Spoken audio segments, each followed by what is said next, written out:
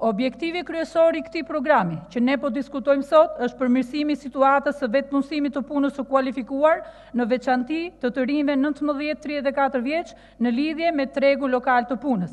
Përmirësimet do të kryhen në të gjitha rajonet e Shqipërisë, në sektorë të përcaktuar nëpërmjet ndërhyrjeve në dy drejtime, në ndërmarrjet mikro të vogla dhe të mesme dhe projekteve për investime.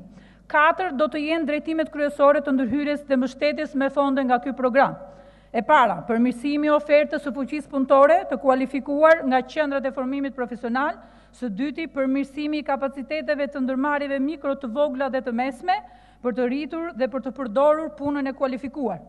nxitjen dhe përfshimin përfshirjen sociale të të rinjve dhe së fundi mbështetjen për aktorët qeveritarë që zbatojnë strategji dhe projekte për rritjen relevante të punësimit.